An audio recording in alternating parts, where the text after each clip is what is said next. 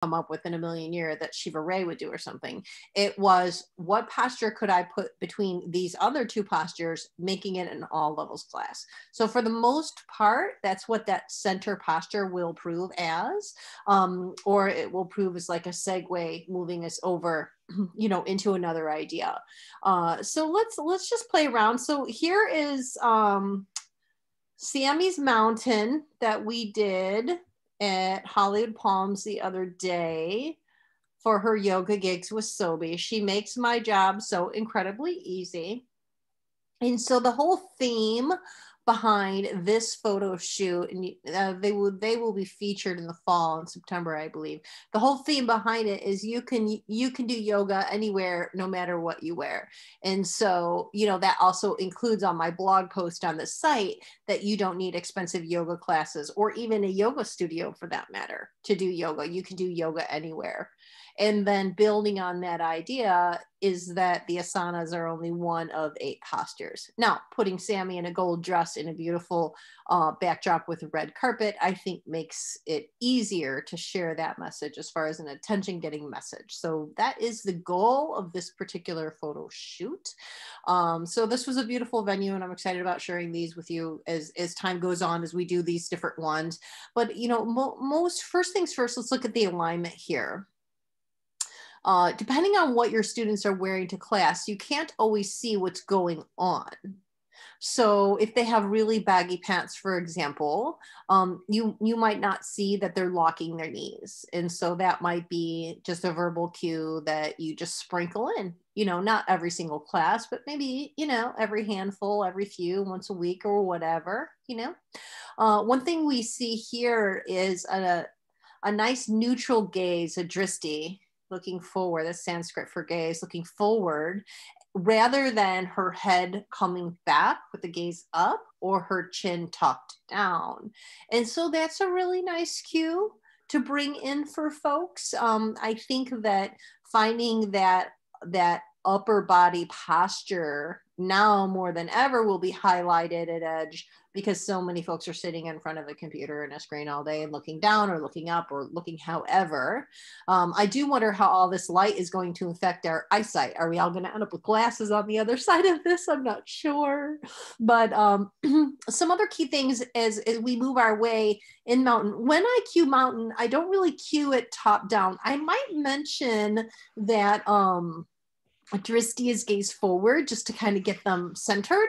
But then I generally cue mountain from feet up. And I know that sometimes I hear um, some lingo that mountain is one of the easiest postures and that you can just do a mountain or whatever. But yeah, you know, some sages suggest the mountain is the most advanced posture of them all. And, you know, I, I have to say that I'm in align with alignment with that in that if you're cueing your yogi from the soles of their feet and maybe perhaps you know you're setting up their feet to be under their knees so we've gotten we've gotten that or maybe you've chosen big toes to touch whichever you like you know and then and then maybe we we invite them to lift the arches some. And if we've done that and we know our anatomy then we also know that there's an activation of the gracilis muscles the inner thigh muscles right that is supporting this movement. So i wouldn't go into all of that in a yoga class but as a teacher it's important that we know. So commonly when we do this though we might see an external rotation where the knees and the thighs begin to move out.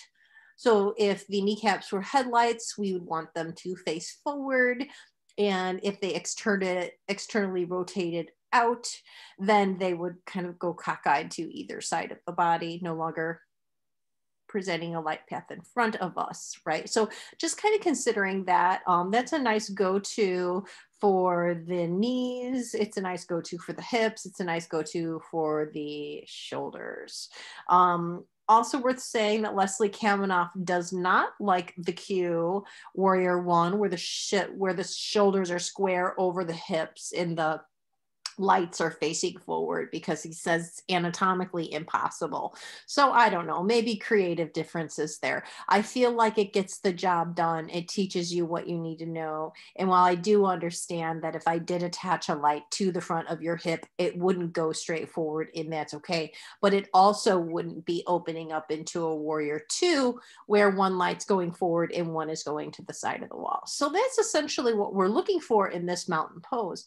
So let's talk about it as we move our way up, commonly for most people, the lower leg complex is underdeveloped.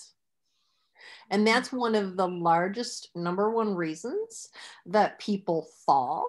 And falling is up there on lists of causes of death. Lots of people fall and die. So this is a thing, you know, this is a thing to observe that sometimes perhaps gets um, overlooked a little bit. So as yoga teachers, if we can help our students develop their lower leg complex from their knee down, that we can really serve them in many, many ways. There's also quite a bit of medical suggestion that from the soles of the feet, if we have um, an imbalance there, but that will continue on up the body because, you know, the, the ankle bone is connected to the knee bone and so on. Right now that you've got that song stuck in your head for the rest of the day, that as you move your way up, that it's quite likely that we now have an imbalance in the stance of our upper body to include our shoulders and ultimately landing as a crink in our neck based on which way the head tilts and then that big heavy bowling ball sitting on top of this little cervical spine which isn't that hardy to start with. If, if not straight up it's very very likely that somebody who is experiencing um, knots in their neck or discomfort in their neck or through their upper back traps rhomboids there that the source of that is the soles of the feet. So let's continue it on if we invite the soles of the feet to draw towards the earth and we include some flowery imagery here uh, you know like imagine the soles of the feet are rooted into the earth's surface grounding you and so on that's really powerful language because the tendency of the practitioner to translate that into really bringing grounding themselves is high. But when you do it the likelihood of over cueing them to the point that they forget about keeping those kneecaps lifted because that was i don't even know how many how many cues ago did we talk about kneecaps lifted? You know that was a while back. And so in most cases many practitioners by the time they're grounding their soles of their feet are no longer uh, lifting their kneecaps or vice versa if you're presenting it from ground up. Uh, so, you know, back to the kneecaps, we've got the headlights forward and we're engaging the thighs, right? We're feeling a lift in the thighs, which is so important. These muscles are so big. They have, um, you know, one of the biggest muscle groups in the body going on and so going to impact things like metabolism. And if you uh, caught lori's lesson the other day on yoga for type 2 diabetes you know if we have larger muscle groups then we have a better chance of having um, efficient processing of our foodstuffs and fat burning and all that other kind of stuff.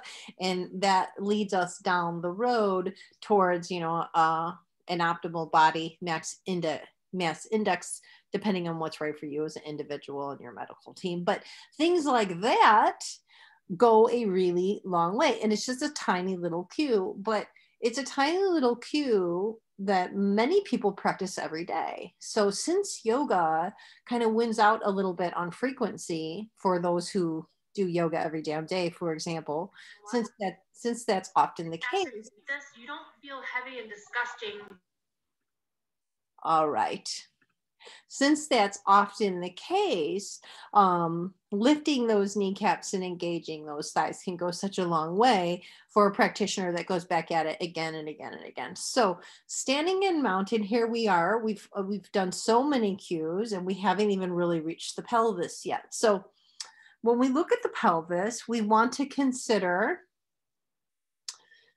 if it were a bowl of water would it tip forward and spill or back and spill? So neutral. And so this is a nice cue to share with your students to give them some idea of what what you're looking for.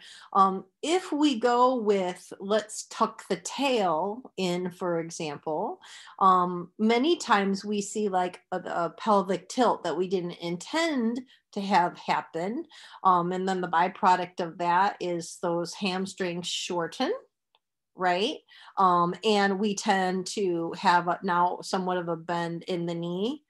And so the result of that, the anatomy behind that is the majority of the, the weight load, generally speaking, in the scenario that I've just given you, would go then to the quads, the front of the thighs. And so if we tie back around to one of the things we want to do is help practitioners build up their lower leg complex knee down then um, then I think it's fair to say that we've lost that, right? So keeping them in mind, I do like to circle back around and check back in, like, hey, do we still uh, do we still have those kneecaps engaged? How's that feeling? Which sounds redundant, but I understand as a teacher that if I speak a hundred words, my students might hear might hear 50 of them and that's that's a gift of a number um, but then moments later might return what 10 15 20% maybe depending you know on if they were paying attention to the moment i was speaking or whatever it was. So the same thing happens in in a yoga class you know i mean by the time you've got them in their body which is what you're there to do then the the obstacle is how do you also keep them engaged with the cues that you're giving. So and this is where that that flower language is really powerful because people want to tune in want to hear this. And this is a new language and it's entertaining and worth tuning in for so with that being said we do want to develop those those language skills but we don't want so much of it that we've lost the moral of the story which i've seen happen so many times too. Uh, so okay so where were we? We were only about halfway up at at the pelvis there nice and neutral bowl of water not spilling tipping forward or back right? So then as we come up to the abs if if we talk about navel to spine which is in my manual in many places, navel to spine. It's it works. You know, it gets people thinking about engaging their core. But to build on it, you know, coming into like moving from a cue to a to a refined, advanced quality, you know, once you've kind of got, you know, let's imagine snugging our nails into our spine. Um, I'd rather see that than a tuck of the tailbone. And then maybe talk about could we wrap the sides of our body towards the navel.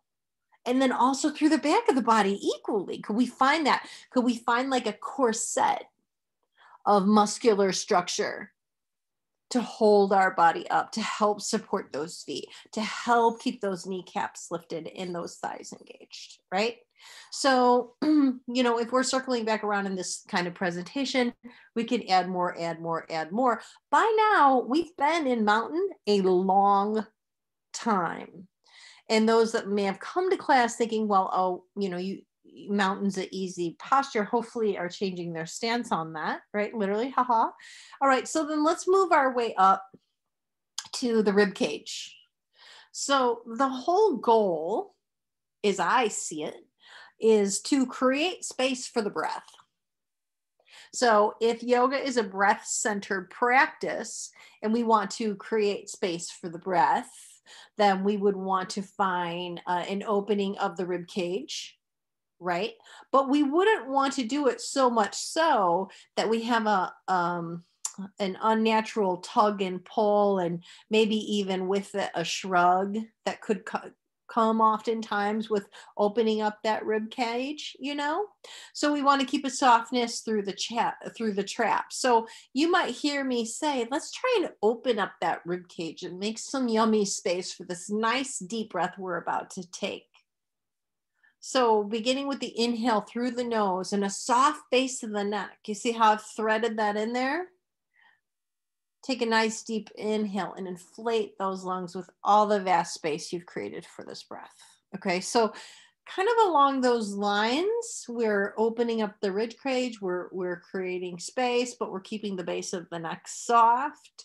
Now ask yourself, what's the likelihood that your students are paying any attention to the arches of the feet remaining lifted and the inner thighs, the gracilis muscles still activated at this point? And so this is one one example of many as to, you know, why mountain is such an advanced posture because we just have so much going on. Like essentially we're looking to engage and align everything and then create space for a breath, for some movement. So as we as we take in that movement depending on your current breathing patterns, whatever that might be, whatever those are, it's been suggested by Leslie Kaminoff, whatever your current breathing patterns are, just flip it and do something else. So it's not that there's a right or wrong when we come to pranayama, the fifth limbs, but just like asana, there's different approaches to it. And, and the bigger cautionary tale would be not allowing yourself to get stuck in a breath pattern right? And so that's also what happens with the skeletal system.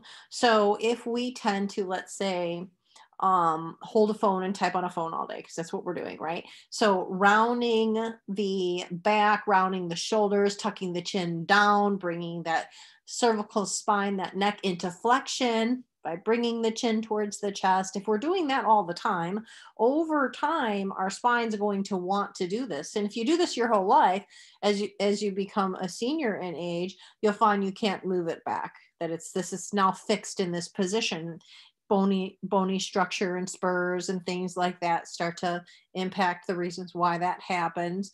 But then also the muscular structure that you've developed because your body is a beautiful machine and able to navigate in so many different ways. So if you've developed the muscles to support your body in this position that's now the muscular structure that you're dealing with. And then add to that the connective tissue that hangs out in between the skeletal system and the muscular system. That's also going to conform. So it'll be short in areas and long in others where maybe we were seeking balance to start with. So the same thing happens with our breathing patterns. So if we're used to taking a breath and, and we're we are our posture is just rounded and forward some and maybe our traps are up a smidge and it doesn't take much that's greatly going to impact the accessibility of the lungs in regards to the rib cage. So, while you wouldn't want to go into all of that in a yoga class, for example, I do think that that's important to have a strong understanding of, you know, as a yoga teacher, and maybe in a six week series, make mountain pose the apex pose rather than, say, an arm balance. Mountain pose, we're gonna we're gonna unpack mountain pose in this six week series of hatha yoga or yin yoga or restorative yoga or whatever whatever style you choose mountain hopefully will be there somewhere shows up somewhere. Uh, so okay so we talked about inflating the lungs and creating space and opening up the chest and keeping everything engaged from the soles of the feet rooted down beneath them and all the way up finding a lengthening of the erector spinae, the muscles that hold the spinal column up, upright, right? So finding a lengthening there with a nice neutral pelvis so that that lengthening isn't cockeyed because the pelvis is cockeyed because it's all a chain and moving its way from the base of the neck up to the cervical spine which brings us back to that dristi where we're gazing forward with a nice soft chin rather than gazing up or gazing down even some what's ahead of me and that might be a nice time to bring in invitation about what's ahead of me. What am I looking at from today on? because many folks spend their life looking back. And the downside of that is if you're looking back, you are not looking ahead of you. You are not looking in front of you. And if you are looking back, you are not in presence.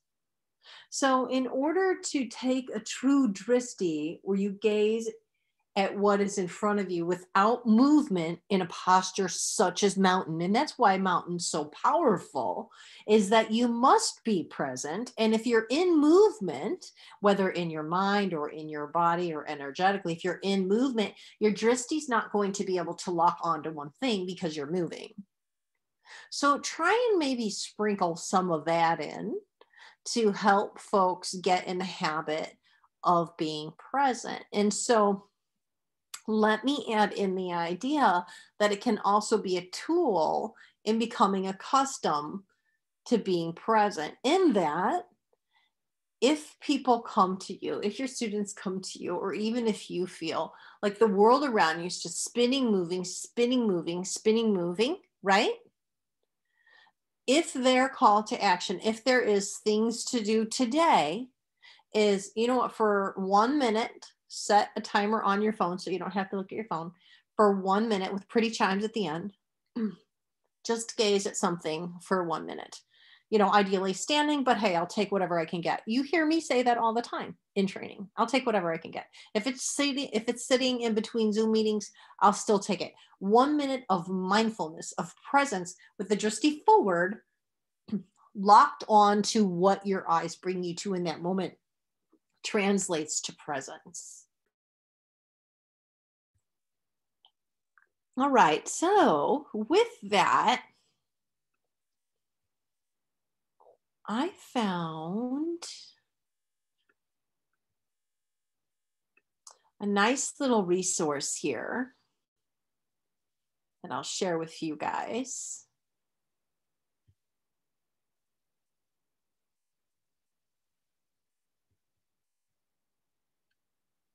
That I really liked. So this is the the planner that I picked up earlier in the year, and um, it's a teacher's edition. So it goes from fall to summer, and uh, I don't get paid or I'm not endorsed by these people at all. I just like to share great resources. So if life feels like it's spinning out of control, something like a daily schedule can go such a very long way. And notice that the top priorities are few and the to do to do list is many. And so when we're giving cues out, we want to consider that in the same way from that same approach that ultimately there's some key cues where we need to practice discernment and say okay these are the cues that i i want to really bring home. Um, but ultimately in the end i want to make sure i don't lose sight of these top priorities. So i had shared that link in announcements in our slack community. So if you're interested in that uh, you can most certainly take a look at it. So now let's move over to mountain pose in our manual here, which is good stuff, Tadasana. That A um, is commonly silent, uh, although depending on the language preferences that you have, I'm certainly not stuck on it personally. Um, so here we find from our sky earths a breakdown of mountain before the arms rise, before we make that skyward reach. So again, much much like Sammy, we have the hands forward, but in some lineages, we'll have the hands towards their thighs. No right or wrong. In fact, I don't even commonly cue it in my class because if a moment ago we decided our priorities are few and our to do mm-hmm. list is many, I don't know that where they put their hands matters enough to me to choose it as a cue. Maybe, maybe once in a while, you know, or if fast.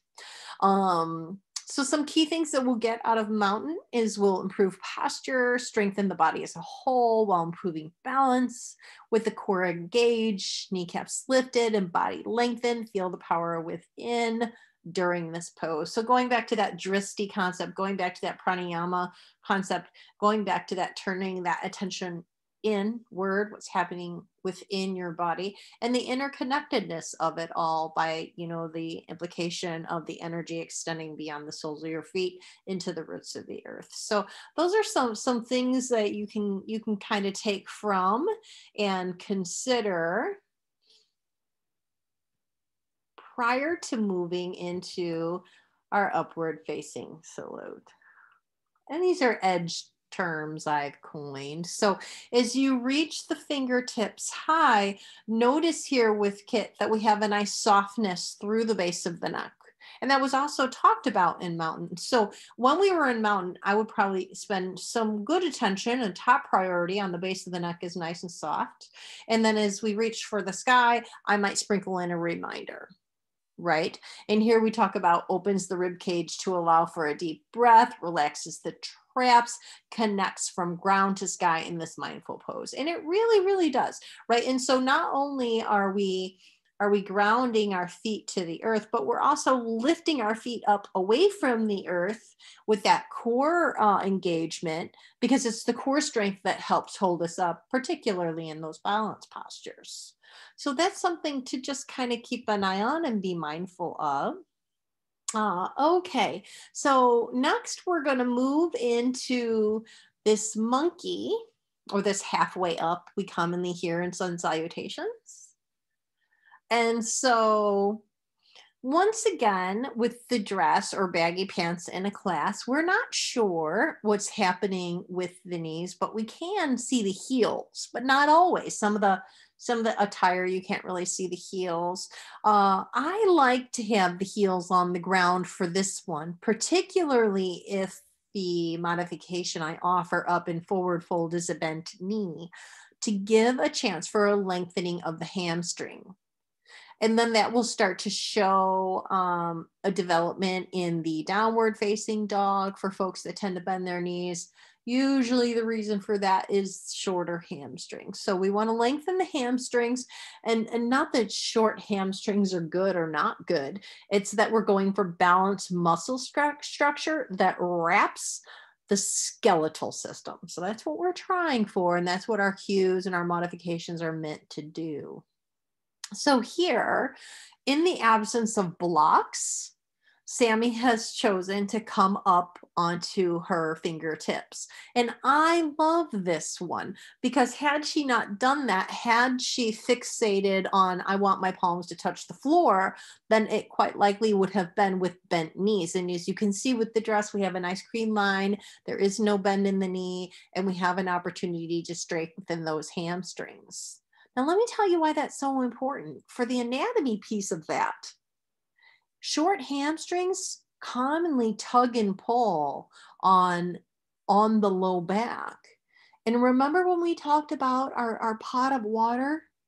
and our pelvis being nice and neutral and not spilling forward and back. Imagine tight hamstrings and, and strong but lengthened quads in the front of the thighs. We're going to end up with an uneven bowl of water.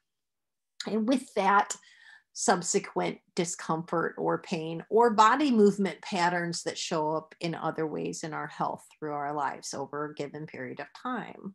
So, with this one, I love reach the f- tops of the fingertips to the floor. And that's probably even the cue I would give even before I invited them into a forward fold. Let's hang out here with a nice flat back. So, going back to that top priorities list, the top priority list is nice flat back. Couple reasons. One, I feel brings attention and awareness to keeping the core engaged. And that can go such a long way in providing that muscular structure and support that might minimize, you know, we were talking about the osteoporosis and potential potential for little tiny fractures if that's if that's present or whatever. Or maybe even if there's any disc issues or bulges or bulges that want to herniate or any of those things you know when we talk about a nice flat back it helps position the student into a movement where the benefits outweigh the risks and that's that's definitely the platform for which this entire teacher training rests and from the place in which I teach you. So you can do that, you know, whatever, whatever makes your heart feel happy, you can do with that. Absolutely. Uh, so here I would have liked, and maybe even in the next picture, the one after this, uh, a, a dristi, a gaze at the floor rather than a little up. And since I took about 200 pictures, that one might exist. This is where I got it because I wanted to highlight in this training the the um, fingertips in absence of blocks, particularly if we're teaching like virtual classes or classes where you know community props are not available for any of the reasons why that might be the case. Most of us show up for class fingertips, right? So here another thing that we could do is invite the hands to the shins and we saw that in our yoga snippets. Right where our hands to the shins. Notice it's not on the kneecaps but it's on the shins. So keeping keeping an eye on that and again, so some of those key things, those top priorities, if they didn't make the cut in one of the other postures, perhaps it could make the cut in um, threading in some of these postures here instead. So let's move on to the next one where Sammy moves into a forward fold. Okay, lovely. Rib cage is nice and open shoulders are naturally hanging out back and down. They're not like pinching a pencil or anything like that. There's a softness about it. There's a availability for space for breath there's a softness through the traps. I see this picture and I definitely see a release.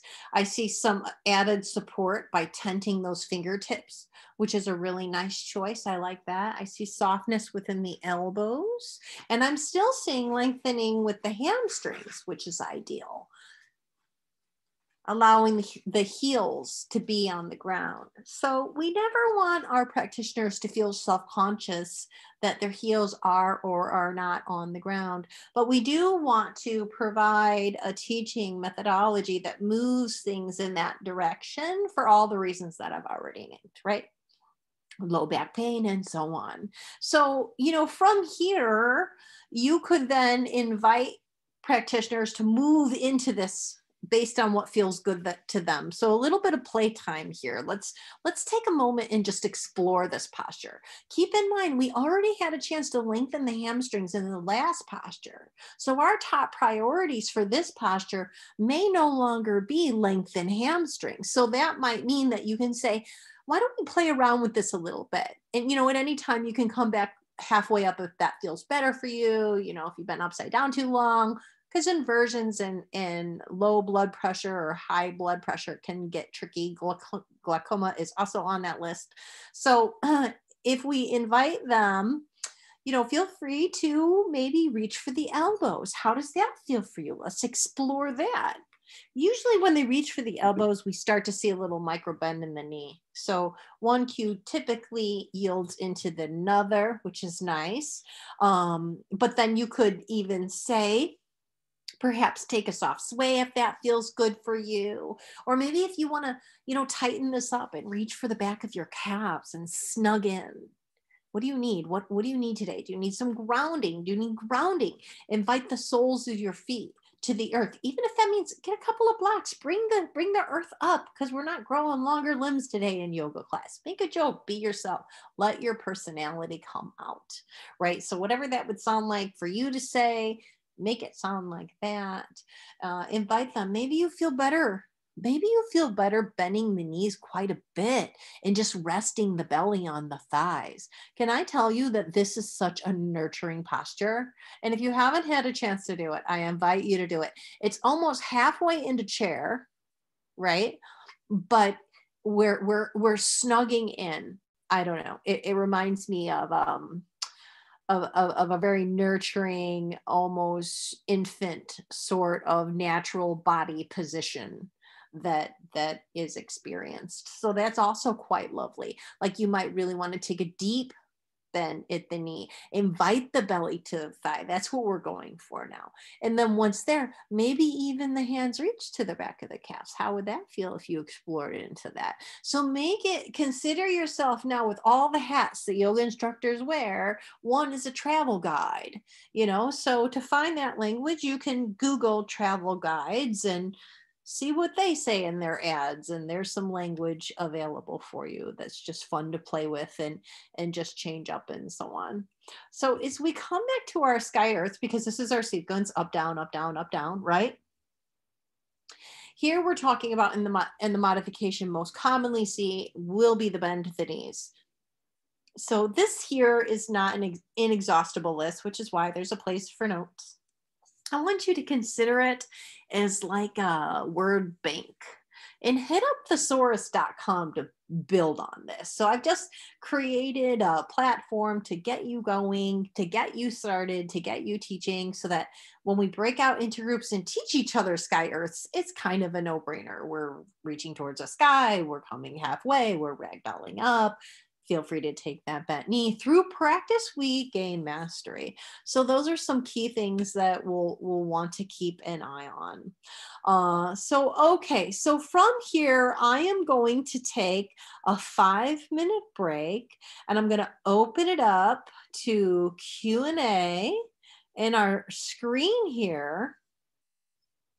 I'll share our daily schedule.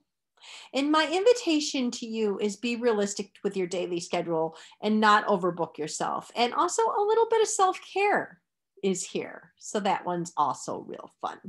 So, five minute break, and then we shall resume.